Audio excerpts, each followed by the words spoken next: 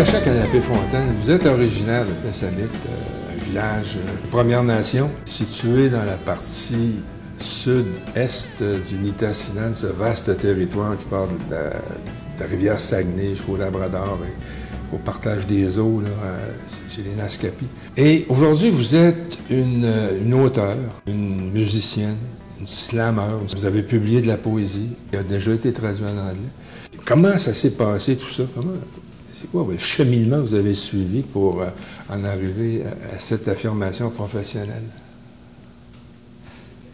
En fait, je pense que le, premier mouvement était vraiment de, de décider que je voulais devenir peintre. J'avais environ 17-18 euh, ans.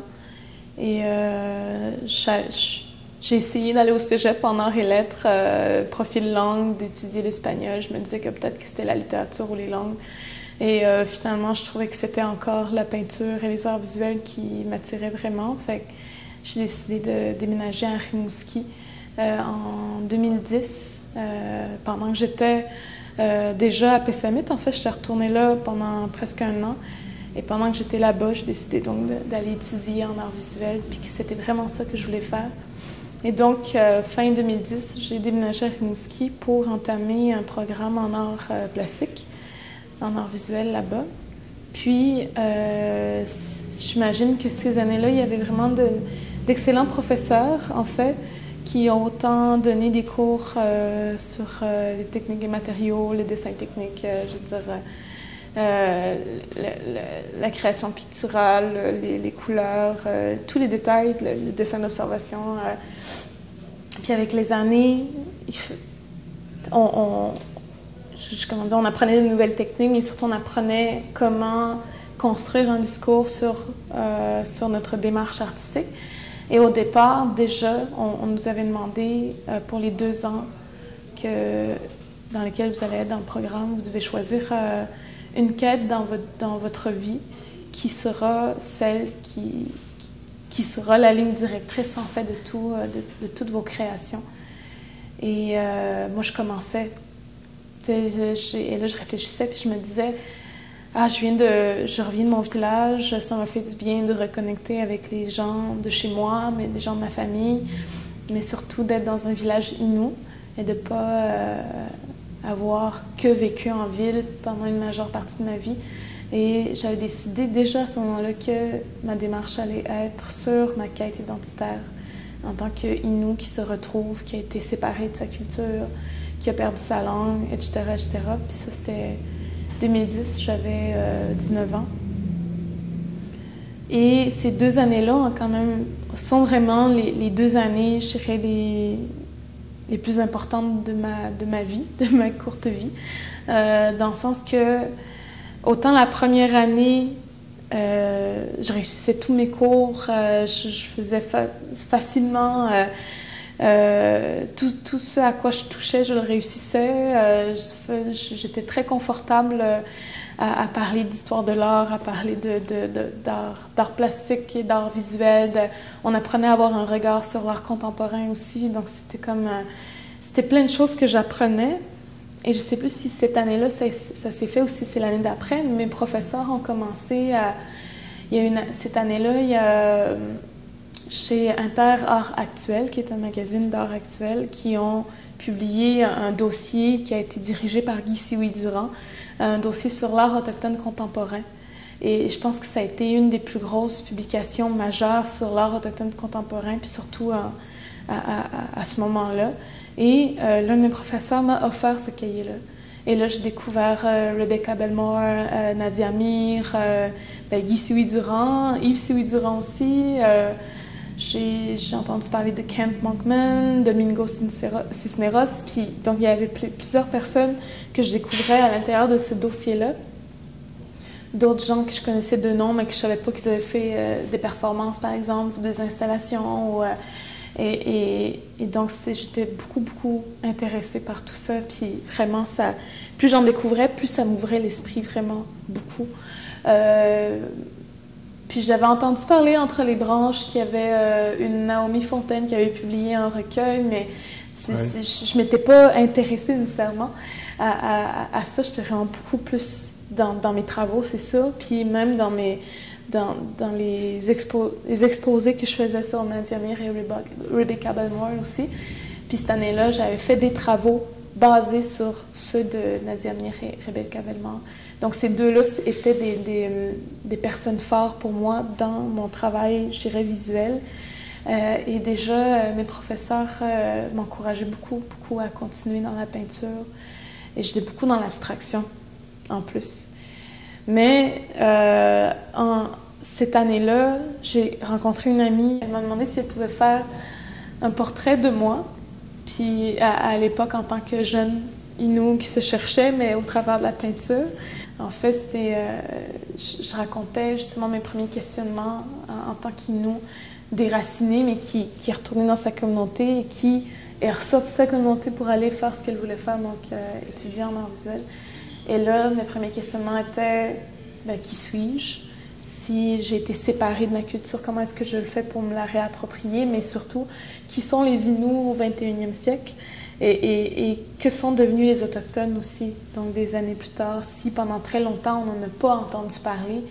Euh, puis moi-même, je, moi, j'avais pas compris on me disait pas, par exemple, qu'il y avait d'autres communautés autochtones. J'étais encore inconsciente du racisme et de la discrimination, mais des années plus tard, maintenant, je peux dire que je vivais du racisme au primaire, par exemple, mais à cette époque-là, je ne comprenais pas c'était quoi. Par exemple, qu'on me dise euh, Ah, mon père m'a dit que tu puais, je devrais pas jouer avec toi. Tu sais, des, des, trucs comme ça. Puis moi, je comprenais pas à quoi ça servait. Puis il disait pas parce que c'est une autochtone, c'est une indienne, puis tout. C'est plutôt mon, père a dit que tu, non, non, tu sais, c'est comme. Donc tu. Ouais, c'est ça. Donc, je devrais pas être avec toi. Puis, je comprenais pas ce rejet-là, tu sais. Puis, souvent, ça m'avait fait beaucoup de mal. Mais maintenant, je sais que c'est ça. Y a-t-il un parallèle à faire entre ce que vous avez vécu euh, du fait de votre absence par rapport à vos aînés? Qui, eux, ont été amenés dans les pensionnats qui sont revenus, dans certains cas, jamais. D'autres sont revenus 10, 15, 20 ans plus tard, dépossédés de leur langue, dépossédés de leur culture, ne connaissant rien à la forêt, aux animaux, aux esprits des animaux. Ils avaient tout perdu. Est-ce que vous avez un parallèle, vous avez senti quelque chose de cette envergure-là?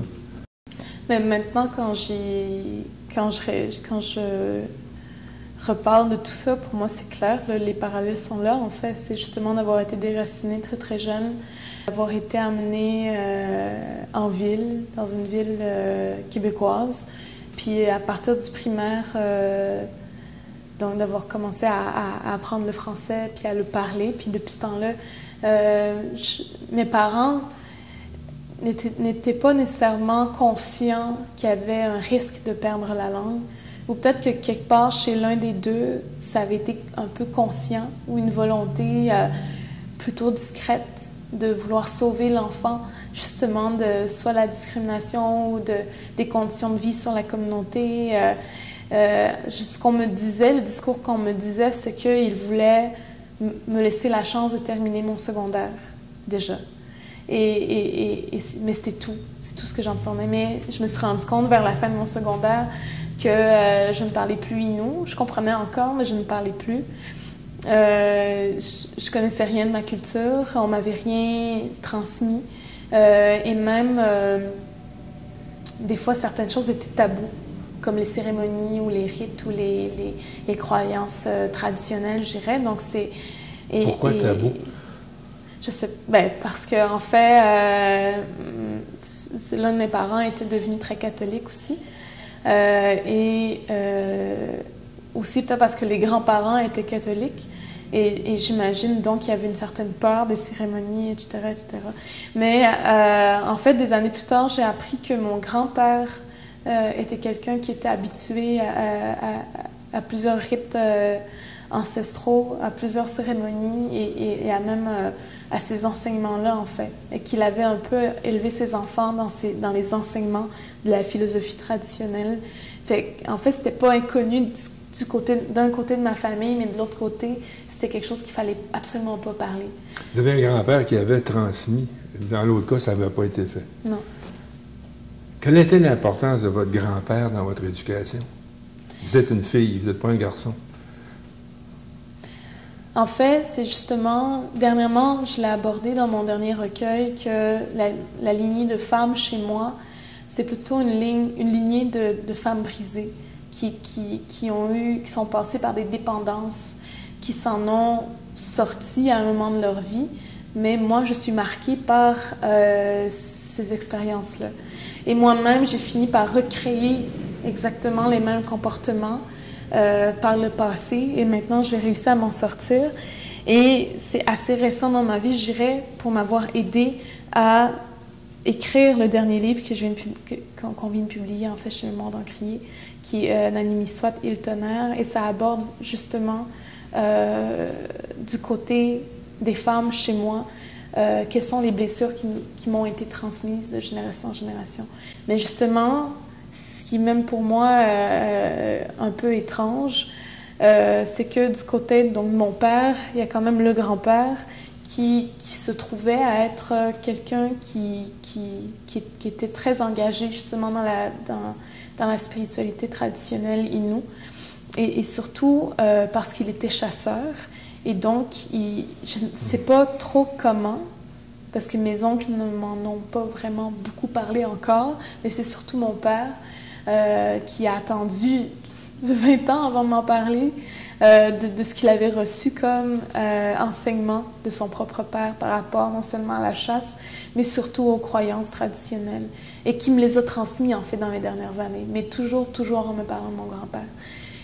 Mon grand-père, quand il est décédé en 2010, justement, euh, j'étais euh, dans la maison de ma grand-mère, du côté de ma mère, euh, seule. Et quelqu'un vient cogner chez moi à 1h du matin. Puis je ne savais pas trop qui pouvait venir cogner à la maison à cette heure-là. Je me suis réveillée et j'ai pas, pas, pas répondu. J'ai attendu d'entendre la voiture s'éloigner pour aller voir à la fenêtre. Et j'ai vu la voiture partir dans, un sens sur la rue principale. Et je me suis dit, j'ai l'impression que c'est mon grand-père. Et là, je me suis dit, peut-être qu'il vient de décéder. Et là, tout d'un coup, je me suis dépêchée. J'ai vraiment senti que c'était ça. Puis j'ai mis un petit manteau. Je suis sortie chez moi, j'ai barré la porte. Je, me suis mis à courir dans la rue. Mais en courant, j'ai eu l'impression.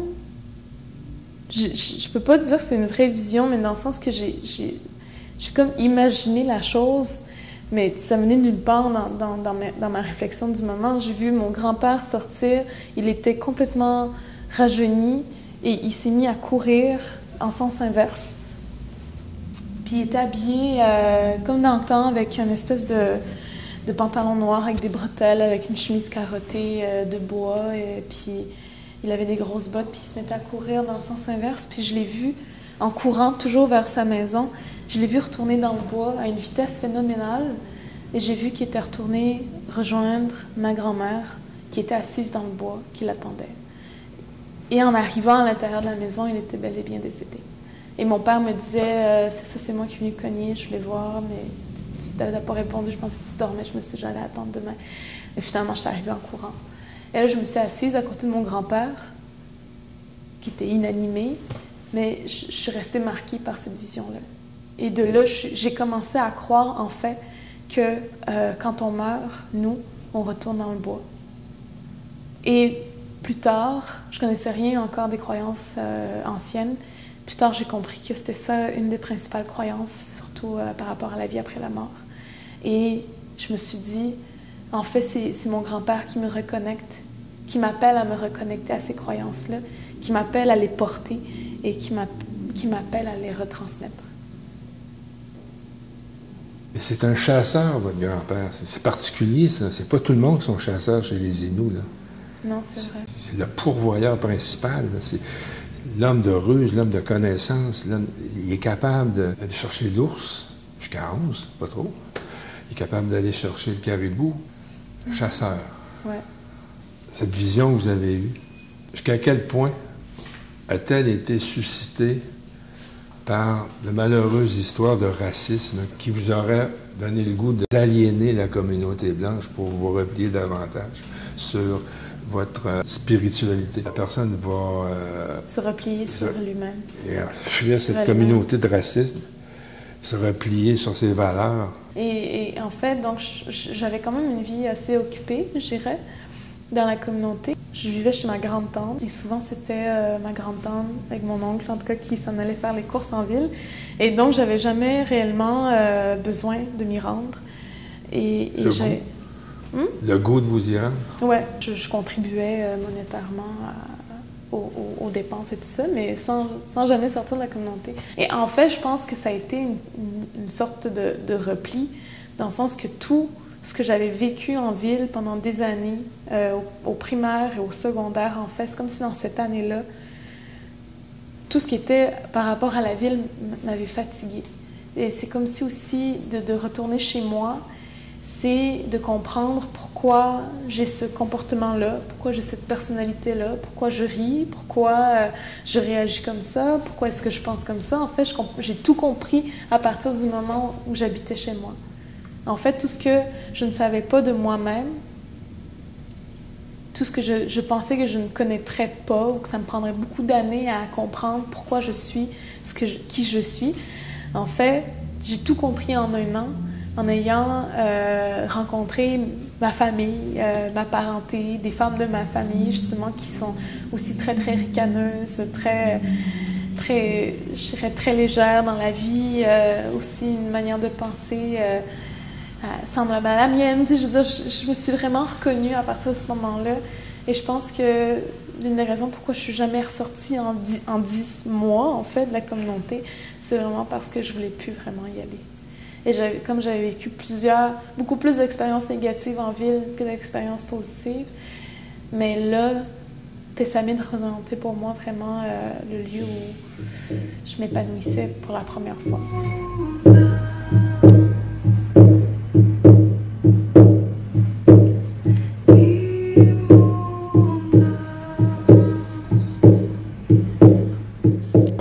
Ici à Montréal, puis euh, on a un agent, puis euh, ça va bien là, là, au niveau des arts. Qu'est-ce qui s'est passé?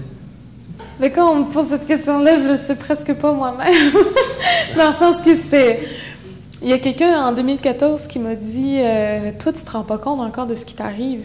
Puis ça faisait déjà deux ans, j'étais embarquée dans des conférences, des, euh, rencontres avec des étudiants, euh, des projets, des événements et tout ça.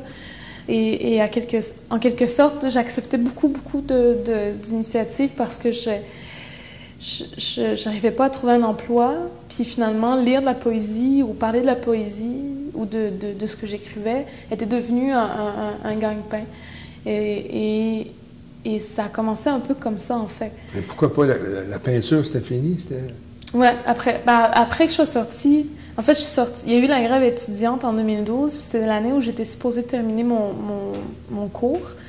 Mais en fait, euh, déjà, le milieu, j'irais à l'école après ça, quand ils ont repris les cours, puis qu'il fallait qu'ils finissent trois mois de cours en un mois, l'ambiance était tellement euh, invivable que je n'étais pas capable d'étudier dans, dans, dans, dans, dans cette ambiance-là, puis de, et donc de, de m'engager à terminer mes cours pour obtenir mon diplôme, j'aurais jamais été capable. Et j'avais déjà commencé à écrire de la poésie de plus en plus souvent euh, début 2012. J'avais déjà écrit un slam à propos d'une marche des femmes Inues de Maliotenam à Montréal qui sont arrivées ici le jour de la Terre. Euh, donc, il y avait comme ils sont arrivées, elles ont été accueillies par une manifestation de 250 000 personnes. Euh, il y a eu un chanteur Inou qui a joué du tambour, euh, du tambour du chasseur. Et, et il y a eu comme un momentum. Puis moi, j'avais écrit un texte sur, ce, sur cette marche-là parce que j'avais déjà remarqué euh, quand je regardais les nouvelles, par exemple, qui parlaient de cette marche ou qui reparlaient des revendications des femmes, qui parlaient du blocus qui s'était passé avant, qui a provoqué la marche, mais il n'y avait aucun journaliste qui rapportait euh, les informations telles que moi je les comprenais, je les entendais. Et c'est soit parce que justement les femmes ne parlent pas un français, euh, je veux dire, parfait. Puis la manière de penser nous est- est- difficile à traduire en français parce que c'est pas la, même structure, c'est pas la même pensée, c'est pas la même manière de fonctionner. Et je remarquais donc toutes ces dissoci- dissociations involontaires ou volontaires entre euh, l'information que rapportaient les journalistes et l'information que euh, tran- transmettaient les femmes quand elles parlaient aux journalistes, justement. Et à cette époque-là, tout ce que j'étais capable d'écrire, c'était du slam ou de, la poésie. Et donc, j'avais décidé qu'en slam, euh, j'allais euh, écrire un texte sur la marche des femmes et expliquer le pourquoi les femmes marchent et surtout comment est-ce que ça correspond un peu à notre ancien mode de vie et donc à notre identité. Et euh, finalement, avec ce texte-là, j'ai fait le tour du Québec aussi. Et j'ai écrit un autre texte l'été d'après qui, a, aussi été très apprécié. Donc, j'ai été très en demande parce que donc, avec le slam, la poésie, les conférences, finalement, je commençais à, gagner ma vie avec ça. Et en fait, par le slam, j'ai commencé à avoir, à, avoir des prises plus politiques. Et finalement, c'est comme si euh, j'avais appris, surtout quand. C'est la même année que le mouvement Idle est né. Et là, j'ai appris, en fait, sans le vouloir, à avoir une pensée politique. Et depuis ce temps-là, en fait, j'ai simplement continué à, à, peut-être à penser en dehors de la marge, mais ce qui est pour moi beaucoup plus, euh, non propice, mais beaucoup plus euh, proche de la manière de penser Inou en tant que tel. Et je me suis dit avec le temps, euh, bon, je pense qu'il faut simplement que je continue à penser comme je pense parce que je pense que je pense comme mes ancêtres et, et, et qu'il faut transmettre cette parole-là. Parce que c'était pas si bête leur façon de penser. Hein. Non, c'est ça, c'est ça. Et au travers des années, en fait, je, me suis questionnée beaucoup parce que quand je suis allée à Rimouski, on me disait euh, Tu ressembles à Pocahontas. Euh, puis là, je me disais Mais d'où c'est qu'ils prennent ça tu sais? Je me dis À quel point dans leur tête, elles veulent absolument que je sois Pocahontas. Tu sais? J'ai dit elle parce que c'était surtout des, jeunes filles qui me disaient ça à l'époque.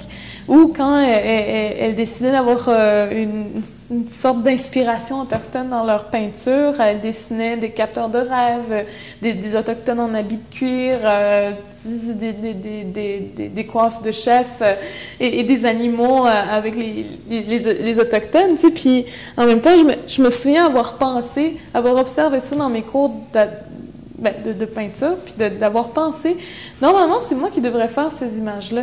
Puis en même temps, je me disais, ouais, mais en même temps, je me reconnais pas dans ces images-là parce qu'il y a personne de même qui s'habille chez... Il y a personne chez nous qui s'habille comme ça. Tu sais, fait là, je me suis dit, mais à partir de ce moment-là, c'est qui nous autres de bord, tu sais? Puis c'est là que j'ai commencé à avoir mes premiers questionnements. Comment réagissez-vous à, ces obligations catholiques imposées par des Blancs chez les gens? Les communautés, les femmes s'habillant toujours de façon traditionnelle, les jupes carottées là, imposées par les pères oblats à l'époque et tout ça, ça vous fait pas mal quelque part, ça? Bien, en fait, justement, dans les dernières années, puis surtout les premières où j'ai commencé, autant, justement, je me rendais pas compte de qu'est-ce que je faisais parce que dans le sens que je m'étais pas rendu compte de l'ampleur de la chose, de, de, je dirais de la pas la popularité, mais l'espèce de d'attraction qui semblait avoir autour de moi. Mais avec le temps, j'ai appris à voir qui, pour qui est-ce que c'était révolutionnaire en quelque sorte et pour qui, en fait, ils cherchaient euh, euh, simplement euh, l'image autochtone qu'ils ont toujours eue, en fait. Et au cours des années, j'ai j'ai vu passer tous les commentaires possibles, tout, tous les, stéréotypes, les clichés possibles et, et, que à quel point moi-même, des fois, comme justement, j'ai été, en fait, une Inou, comment j'ai été déracinée. Et quand j'ai entendu, quand j'ai voulu réapprendre la culture autochtone, moi aussi, là, je passais par les colliers en bois, par les plumes et tout ça, parce que je pensais que c'était ça mon identité. Et, mais avec le temps, j'ai appris maintenant, je dirais, aujourd'hui, là, je suis souvent j'ai eu la chance de tomber sur des gens qui avaient les vraies informations qu'on ne trouve pas sur Internet, qu'on ne trouve pas nulle part dans les documentaires, qu'on ne trouve pas à la télé. Et, maintenant, tu sais, à l'époque, on n'avait pas accès, par exemple, à des auteurs comme Thomas King. Thomas King, lui, il explique des fois d'où ça vient. Et d'où ça vient, d'où est-ce que ça vient. Et, il explique aussi, par exemple, que Edward Curtis, qui a pris toutes les photographies, euh, qui, a fait l'album de Native American Indians, euh, en fait, les gens ne s'habillaient pas comme ça. Il, demandait aux, gens, quand il arrivait dans les communautés, de mettre leurs plus beaux habits. Et, sinon, de toutes les mettre en même temps. Et là, les gens avaient accepté, ils se, faisaient prendre en photo comme ça. Puis lui, il a vendu ça partout en disant c'est comme ça, c'est comme ça qu'ils sont les Autochtones. Et partout, en fait, ça a été fait. Tout ça, c'est des habits d'apparat. Donc, c'est comme, à un moment donné, quand j'apprends des informations comme ça, au moment où il faut que je retransmette ces informations-là aux gens, souvent, là, je rencontre euh, des tensions, des, des, des, des, euh, des gens qui, qui, se, qui, se, je sais pas dire, qui se rebraquent, qui sont comme euh, Non, mais non, c'est pas ça, là. Tu sais, ou Ben non, ça c'est autochtone, là. Tu peux pas dire que t'es autochtone, tu peux pas dire que c'est pas autochtone. Tu sais, c'est comme des espèces de, de, de, comment dire, de, de conclusions toutes croches ou mal faites ou de connexions euh, euh, maladroite, mais maintenant, je pense que ce qui m'influence beaucoup maintenant, je pense, en fait, je le, sais, depuis le début, en fait, c'est vraiment une quête de vérité que je mène. C'est pas, je pense, oui, c'est une quête d'identité, mais c'est pas ça à la base, c'est une quête de vérité. Parce que je me suis rendu compte au départ qu'on m'a rien dit. Et après, quand j'ai voulu apprendre mon identité, je me suis rendu compte qu'on m'a menti. Et après ça, en apprenant l'histoire, je me suis rendu compte à quel point on a menti à tout le monde et maintenant à quel point on se ment. Et aujourd'hui, donc, je cherche simplement la vérité et à retransmettre la vérité, mais surtout, je cherche ma vérité à moi, mais à partir de la vérité de mes ancêtres. Je suis la fille, la mère, la grand-mère. Je suis ma grand-mère, ma mère, moi.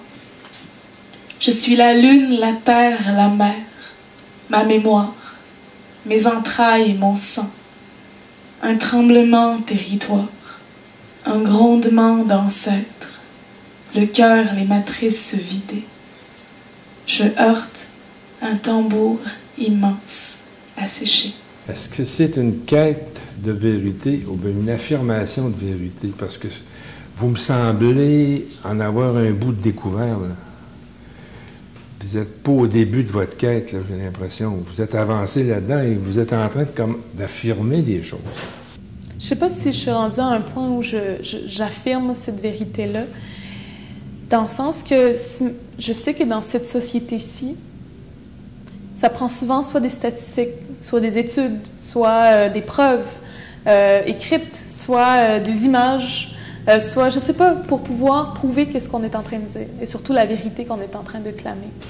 Et donc, je, ne suis pas nécessairement dans, une affirmation de vérité, mais c'est sûr que je suis dans une certaine affirmation, dans le sens que ce que j'apprends, ce que je réapprends, non seulement de, de, de, ce que je réussis à, aller chercher comme information à propos de mes ancêtres via les aînés, via non seulement les aînés chez les Inuits, mais les aînés de d'autres communautés, et, et, via aussi les autres peuples ailleurs.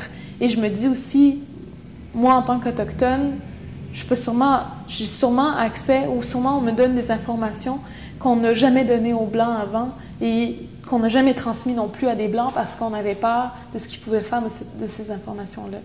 Et, avec le temps, en fait, je comprends maintenant, par exemple, moi dans ma carte dans ma tête, dans ma carte du monde, nous autres, on arrivés du sud. On n'est pas arrivés du nord.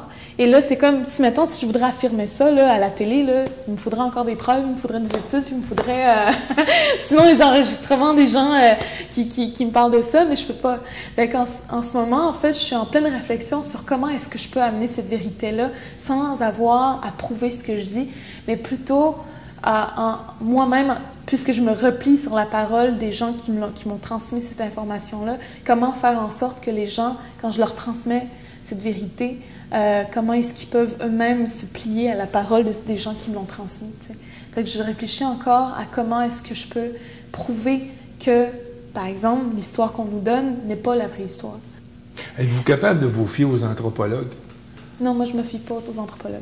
Et je me fie pas aux ethnologues. Et je me fie à personne qui ne sont pas autochtones ce que je suis capable de faire, je pense, c'est par la poésie, retransmettre les informations euh, sans avoir à me prouver moi-même, en fait.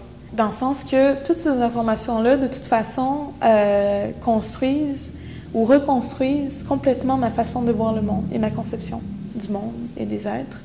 Et, en fait, ça, dans mon univers à moi et dans mon imaginaire, le monde, c'est comme ça qu'il est fait. Et moi, je vis comme ça à tous les jours de ma vie.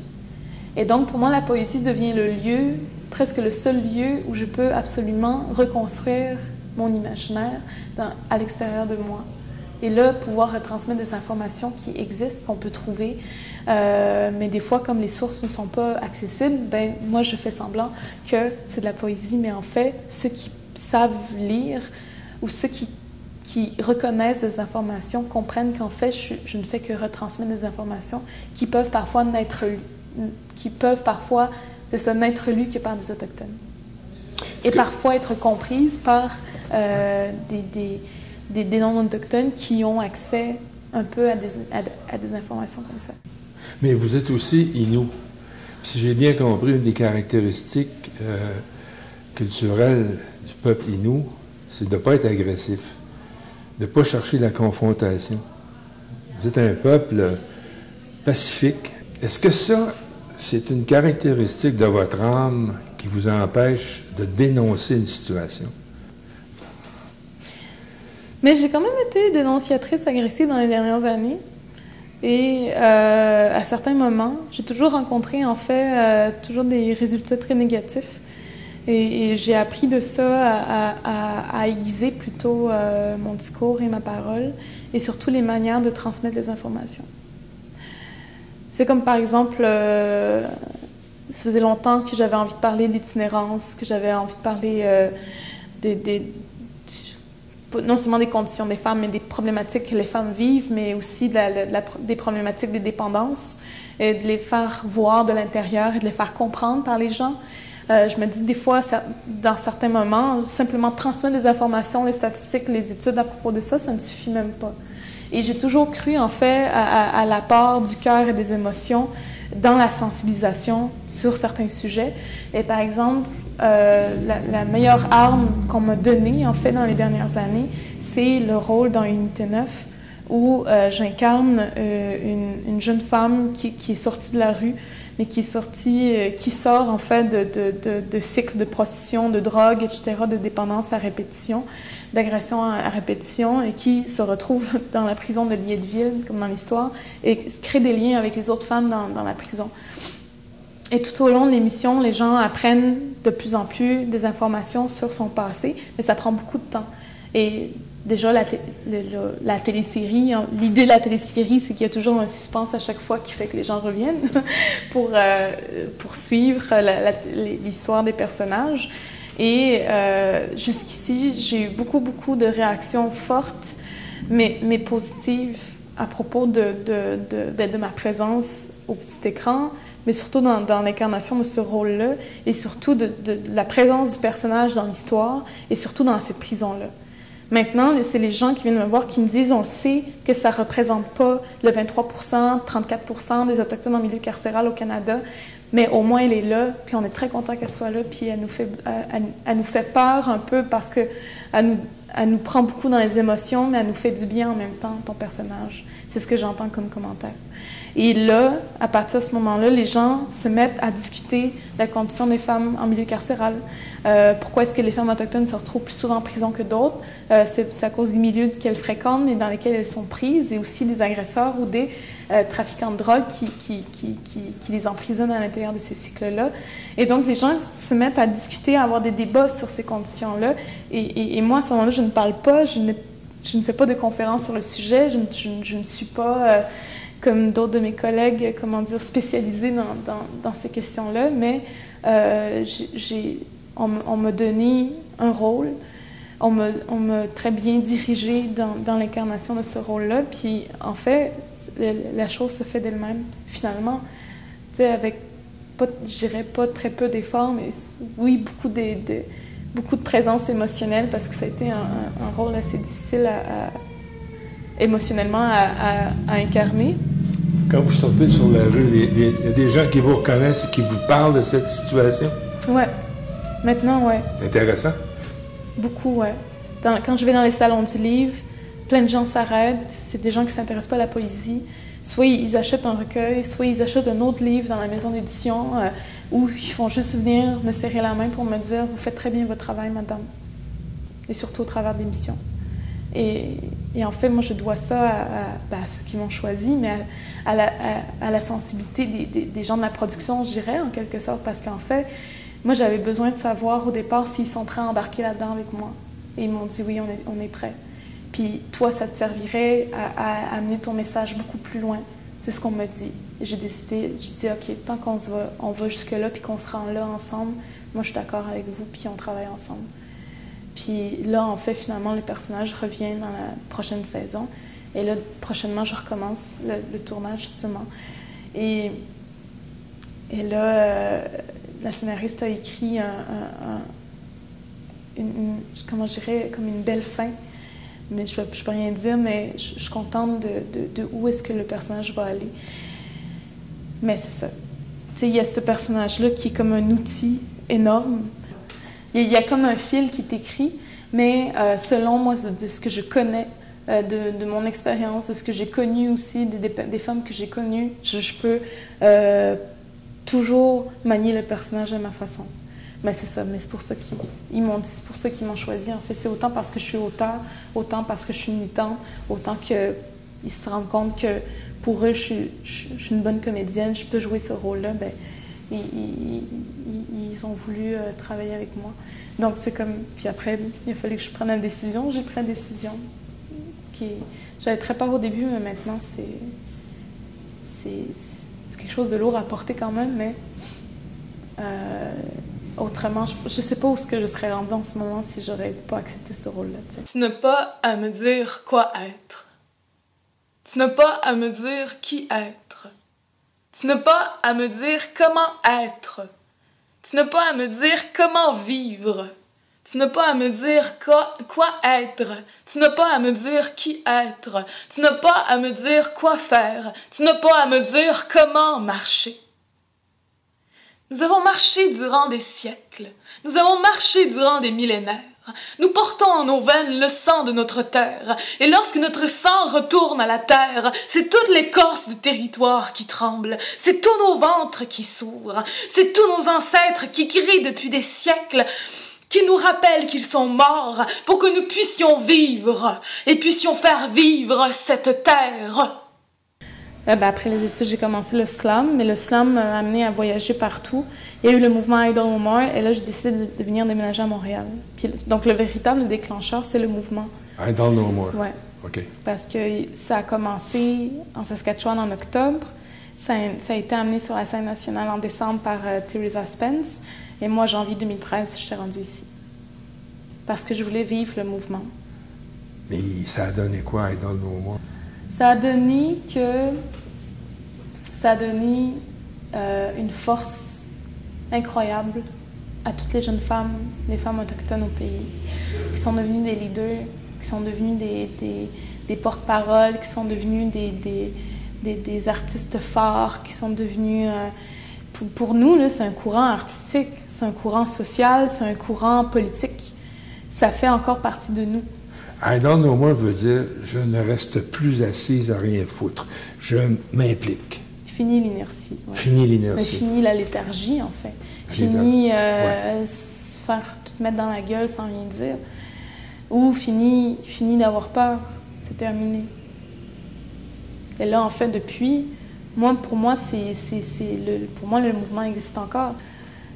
Le mouvement, moi, je le vois sur les réseaux sociaux. Moi, je le vois à chaque fois que quand, par exemple, il y a il y a, comment dire, il y a un acquittement d'un meurtrier d'un jeune autochtone comme Colton Bouchy en, février, mais c'est toutes les, communautés autochtones, surtout urbaines au Canada, sont dans la rue le lendemain. Pour moi, ça, c'est Idle More. C'est notre capacité de descendre dans les rues, c'est notre capacité à, parler, c'est notre capacité à réagir à des événements comme ça, c'est notre capacité à, faire face à des projets comme Kidder Morgan, c'est notre capacité à s'organiser comme à Standing Rock. Tout ça, là, tout ça, c'est Idol More. C'est le mouvement.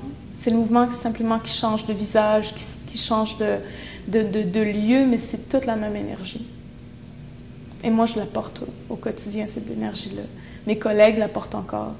Et, pour les gens de l'extérieur, comme ils ne sont pas connectés au réseau autochtone, ils ne voient pas ça. Et souvent, les journalistes nous disent, ils nous disent, c'est mort ce mouvement-là. Puis je suis comme, non, non, non, non. C'est juste que tu pas connecté au bon réseau.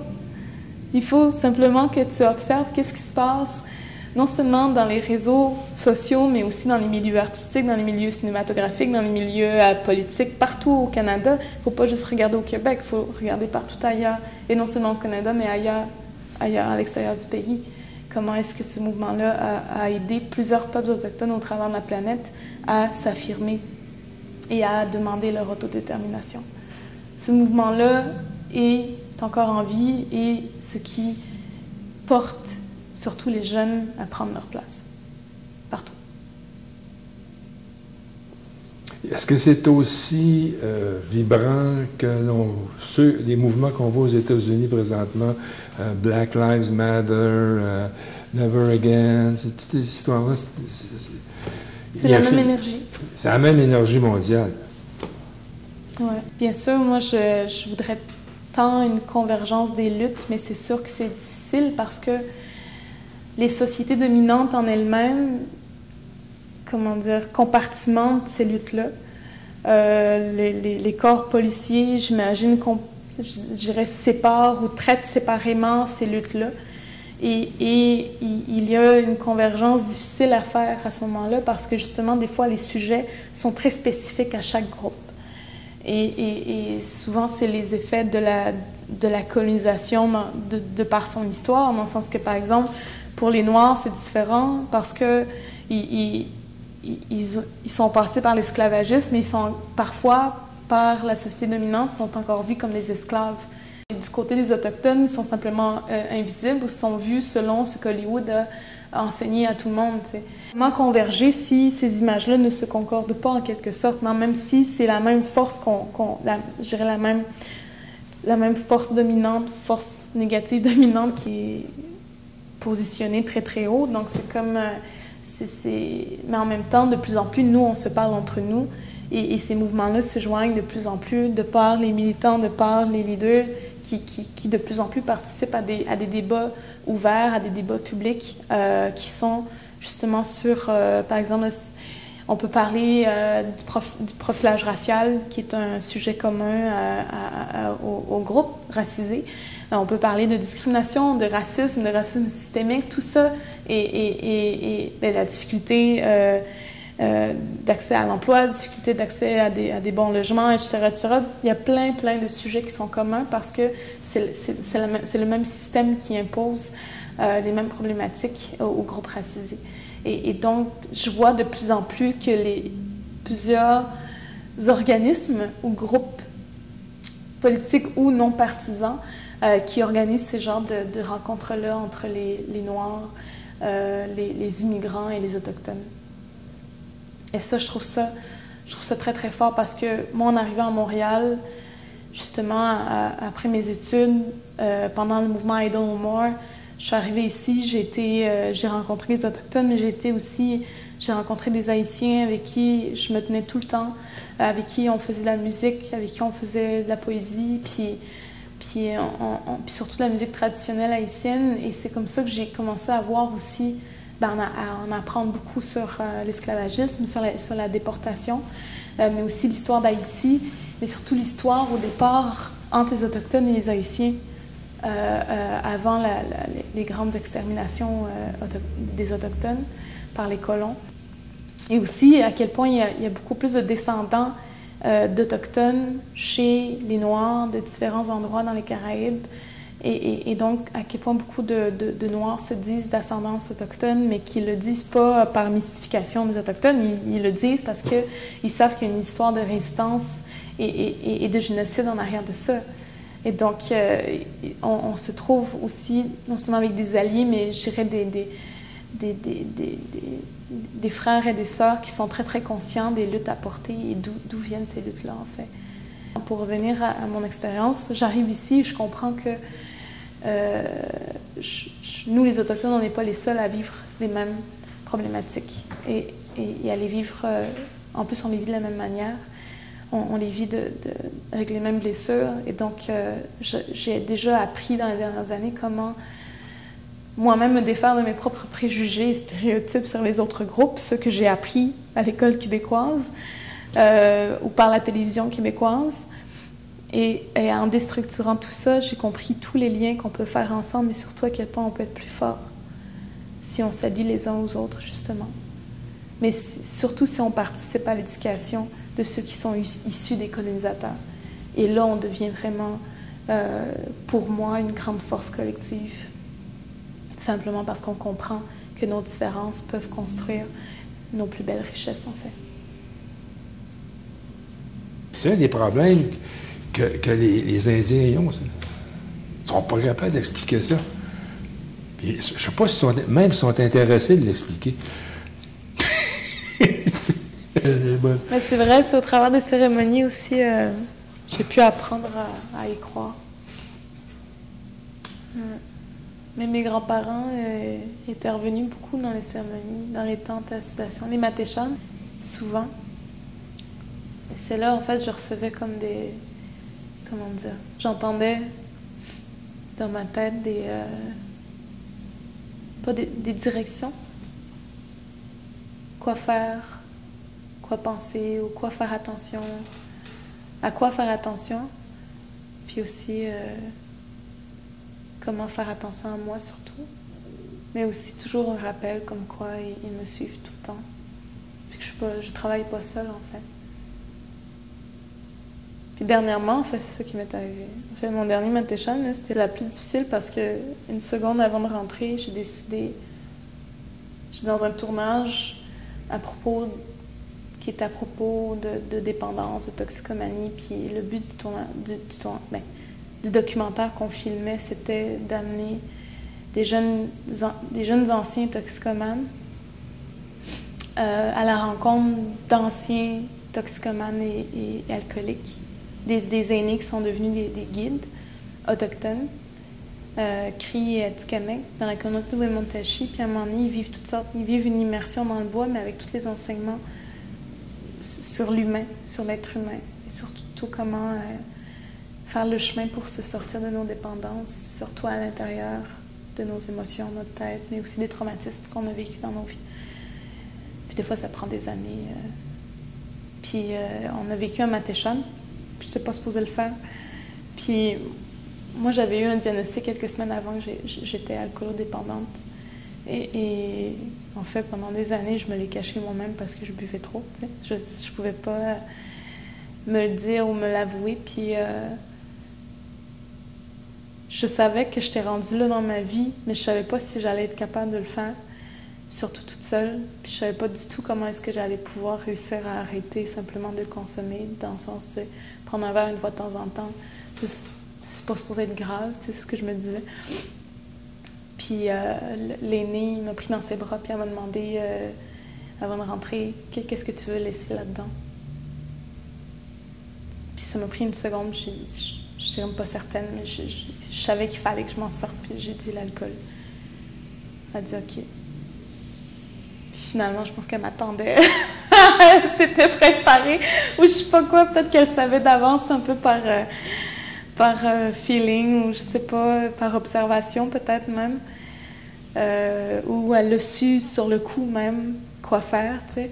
Mais euh, elle, dans, le troisième round ou le quatrième round, elle, m'a fait parler. puis elle m'a dit, dis-le, qu'est-ce que tu demandes? Puis moi, je pleurais, puis je pleurais, puis je pleurais. Elle dit, qu'est-ce que t'as? Elle me dit, qu'est-ce que t'as? Je dis, j'en veux juste à tout le monde. Elle dit, mais pourquoi? J'ai dit parce qu'ils m'ont donné ce problème-là. Il dit, oui, mais pourquoi ils te l'ont donné? Puis, pourquoi c'est supposé être eux qui te l'ont donné? Puis là, c'était comme plein de questions. Euh, je me faisais euh, mener. Euh, mais après ça, là, elle dit, tu me promets-tu que tu vas prendre soin de toi, puis, puis que tu, sais que c'est pas, pas juste pour toi, c'est aussi pour toutes les jeunes filles puis les femmes qui vont te regarder ce ne sera pas juste les Autochtones que tu vas aider, ça va être tous les gens des autres nations que tu vas aider. Puis est-ce que tu sais que tu es sur Terre pour ça? Je braillais, je braillais. J'ai dit oui. Elle dit promets-le-moi, tu vas le faire. Là, j'ai dit oui. Puis là, j'étais genre complètement à terre. Là, je braillais, puis j'étais comme je voulais. Elle dit relève-toi, là, arrête. Arrête de te traîner par terre de même. C'est fini, ce temps-là. Elle dit Mets ton dos droit. Puis c'était noir, noir, noir, noir, là. T'es tout noir à l'intérieur, mais sûrement qu'elle m'entendait broyer à terre, là. Elle dit Relève-toi, mets-toi le dos droit, puis dis-toi que tu t'aimes. Que tu t'aimes assez pour arrêter. Puis que tu t'aimes assez pour faire ce que tu as à faire. Ou tu t'aimes assez pour prendre soin de toi tout le restant de ta vie. Le plus possible comme tu es capable. Puis j'ai dû me mettre droite. Puis j'ai dit oui, je suis capable. Elle dit OK. Elle dit parce que. Puis elle m'a tout dit qu'est-ce qu'elle voyait en moi, puis tout ce qu'elle elle ressentait de fierté, puis etc. etc. Elle m'a comme couverte de, de, commentaires positifs, puis elle m'a recentré complètement sur euh, ma mission ou euh, ce qu'elle pense que je suis appelée à faire, en tout cas. Mais après ça, il y a eu comme l'autre round, vraiment comme finale de guérison, de... de, je pense, même après plusieurs Matechan, on dirait que je comprends pas encore certaines notions à l'intérieur du Matechan, mais j'ai eu l'impression que dans le dernier... En plus, c'est, même pas clair dans ma tête si on était dans le deuxième ou le troisième round, puis dans le quatrième, mais à un moment donné, c'est ça, on recommence les chants, puis on recommence... On dirait toujours que c'est comme le lavage c'est comme tout sort à ce moment-là, toutes les. Et, là, tout mon corps, j'ai eu peur. J'ai vraiment eu peur. C'est pour ça que je dis que c'était le plus difficile des matéchans que j'ai vécu. Tout mon corps, tous mes muscles se sont atrophiés. Je n'étais plus capable de bouger. Tout, là, tout était devenu comme. Je me souviens là, de l'effet que ça me faisait, mes jambes. J'ai l'impression que tous mes muscles étaient comme euh, rendus. Euh, là, je hurlais. Parce que je savais pas ce qui m'arrivait. C'était pas le premier Metachan. Non, c'était pas le premier, c'était mon cinquième, quatrième. Là. je les avais toutes faites, toutes au complet. Là. Puis en fait, puis j'ai jamais rebu depuis. Puis des fois, j'ai tendance à, m'attendre à, une rechute. Je me dis, sinon, c'est pas grave. Il faut pas que tu t'en veuilles, Natacha, si jamais ça arrive, mais c'est pas encore arrivé. Elle m'a fait promettre une affaire où je serais pas capable de je m'en voudrais tellement. Là. Mais je sais que c'est pas à moi que j'ai fait cette promesse-là. C'est à elle, c'est à tous les gens qui étaient à l'intérieur de. de tu elle m'a dit, promets-le que tu le fais pour toutes les, les jeunes filles les femmes. Puis c'est comme ça que ça me fait tenir, en fait. Puis ça, c'est une grosse affaire. Est-ce que c'est une guérison? C'est pas complet, c'est sûr. Mais c'est déjà une première grande guérison dans ma vie. Puis après, le chemin, c'est moi qui l'ai fait toute seule. Mais de ça est sorti mon dernier recueil. Toute cette recherche du pourquoi je me suis retrouvée moi-même alcoolodépendante. Et je voulais tellement donner ça à quelqu'un d'autre. Tu sais, je voulais tellement blâmer d'autres gens, et finalement, je ne même pas me blâmer moi-même, en fait. Il fallait simplement que je dénoue les, nœuds qui m'amenaient euh, jusque-là. C'est pour ça que vraiment maintenant, beaucoup plus, là, avant, là, je faisais des matins je suis comme, OK, je sais c'est quoi. Je sais c'est quoi, je sais c'est quoi la force, mais j'avais jamais vécu moi-même la force de ça. c'est comme je te dis, c'est au point où ça m'a fait mal. C'est parce que c'était l'addiction le, que, que la, le, on dirait, j'ai senti en fait qu'on comment on dit on m'extrayait l'addiction du corps. Puis jamais, jamais vécu, j'avais jamais vécu un matéchan aussi fort comme ça. Puis j'avais vraiment l'impression que ça allait chercher jusque dans mon ADN. Puis c'est pour ça que maintenant, là, puis je, tu sais, j'essaie pas de, je, ne le crie pas sur tous les toits en disant c'est ça qui m'a sauvé, c'est ça qui m'a guéri, parce que c'est pas ça, c'est un outil. C'est qui qui, qui, qui, guérit en réalité, c'est la personne qui, s'aide elle-même à, avancer, qui, qui, qui, est maître de son propre corps. Mais c'est un outil tellement fort, puis surtout quand on le comprend, je pense. Quand on le comprend dans, dans, dans, dans sa profondeur. Puis c'est un des, des, des, rites les plus anciens au monde, là, en plus. Et on le retrouve, c'est tellement dans le Sahara. Mmh, exactement.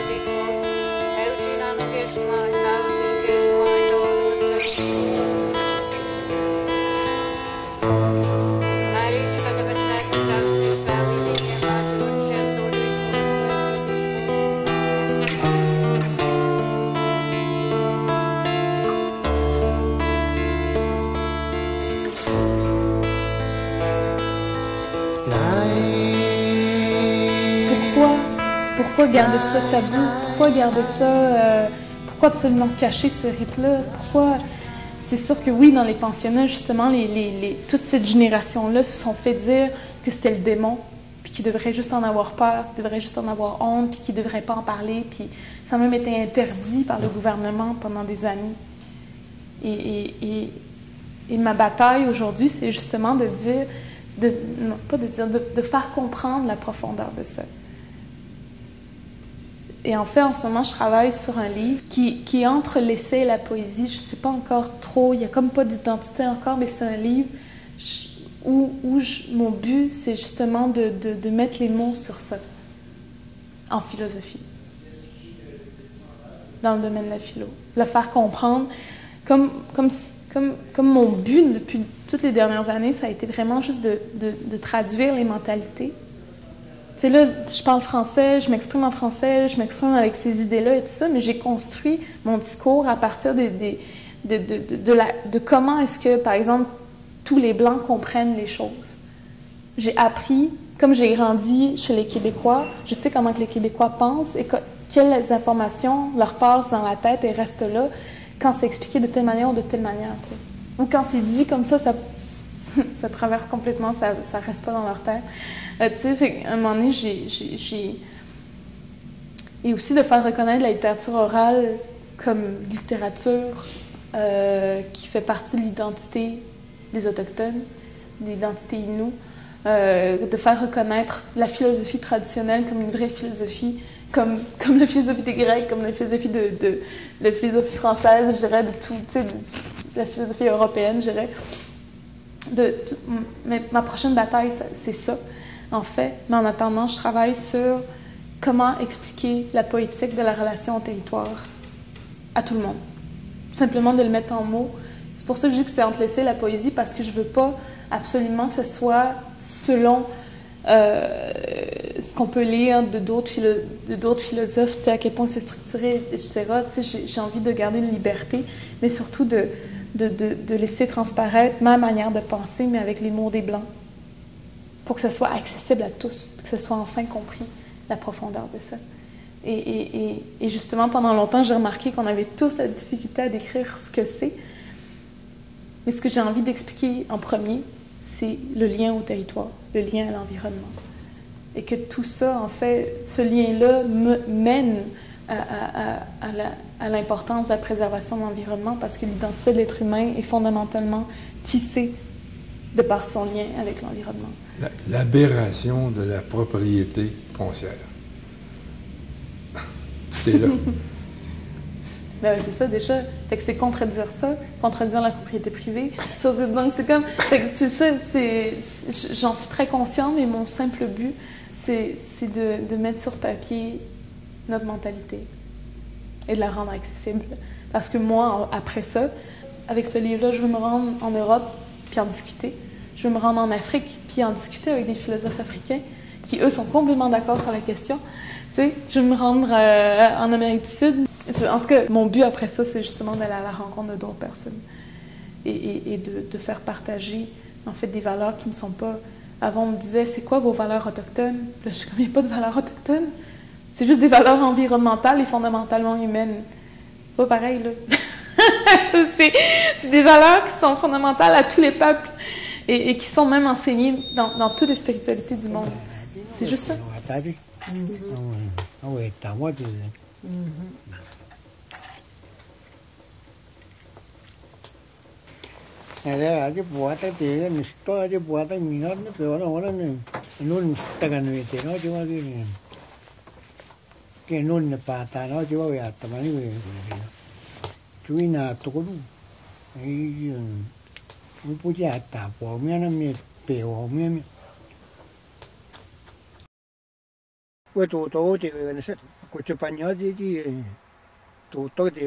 C'est pas là un combat solitaire. On y va en douce, on y va avec des valeurs, on y va avec la finesse, on y va avec euh, ça.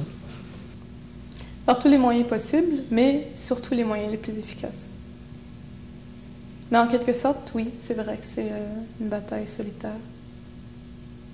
C'est vrai que je me sens euh, très, très seule à certains moments.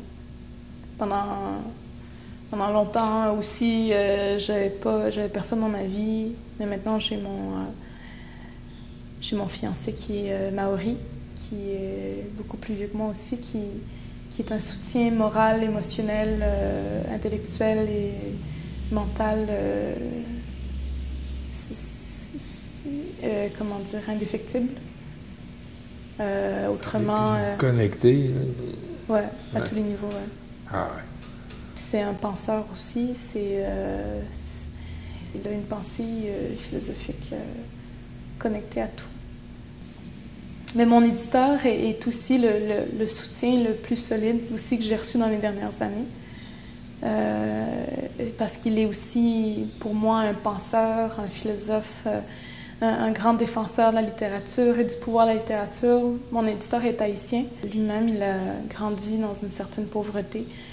Il a été élevé par des femmes qui ne savaient pas lire et qui lui ont appris à, lire certains mots quand même, euh, à, s'intéresser aux livres euh, parce que l'éducation pour elle était ce qu'elle pouvait donner du moins au, fils et au petit-fils dans le fond. Et lui, des années plus tard, en fait, il est euh, éditeur. les ancêtres qui montent et qui descendent le Mont-Royal, qui montent et qui descendent du ciel bleu sur Montréal. Le son de leurs pas glisse sur l'asphalte, dans l'attente que résonne le chant du Makusham.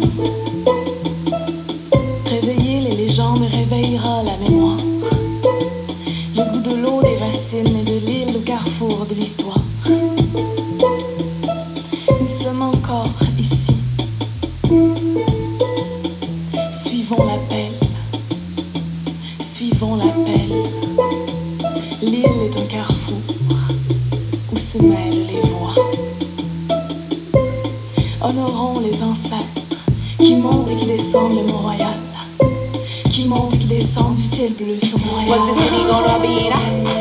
Que vous vous considérez comme une militante?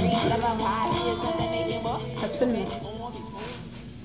J'ai même l'impression que ça devrait même pas être euh, nommé, en fait. Je pense que c'est une identité qu'on devrait tous avoir. Moi, je rêve de, vivre dans une société où les gens réfléchissent. Tout le monde se donne le droit de réfléchir, de se poser des questions. si jamais il y a quelque chose d'injuste ou de, déséquilibré, ou de, euh, on, on va aller changer ça. On n'acceptera pas l'injustice, l'inégalité, le déséquilibre, euh, les discriminations, les, les, rejets. On n'accepterait pas ça. Et, et, je, moi, dans ma tête, je vis là-dedans, en fait. Je, vis dans ce monde-là. Je suis entourée de gens qui, se questionnent. J'ai plein d'amis. on, ne partage pas du tout les mêmes opinions, mais on questionne toujours tout. Et c'est un point qu'on aime partager, en fait. Et, dans le sens de questionner tout, mais en réfléchissant toujours. Qu'est-ce qui serait le mieux? Qu'est-ce qui deviendrait le pire? Qu'est-ce qui, qu'est-ce qui est Est-ce qu'il faut rester entre les deux ou est-ce qu'il faut absolument un changement euh, presque... demander un changement euh, littéral, complet, etc. Donc on se questionne toujours. Puis c'est avec des gens comme ça avec qui j'ai appris à penser aussi dans, toutes les dernières années. Et, souvent, moi, en fait, je pense que je vis tellement dans ce monde-là, dans ma tête, que ça, quand je sors de chez nous, justement, j'ai la difficulté euh, avec la réalité. Et, j'ai déjà entendu donc, que, la définition de, militant ou une militante, c'est de de lutter pour euh, le monde idéal dont il rêve, dont, il ressent qu'il est possible. Et, c'est pour ça que je, je suis absolument Mais je, pense quand même qu'on devrait tous être comme ça. Parce que ce serait nécessaire à la santé d'une société. Natacha Canapé-Fontaine, merci pour l'entrevue, c'était très agréable.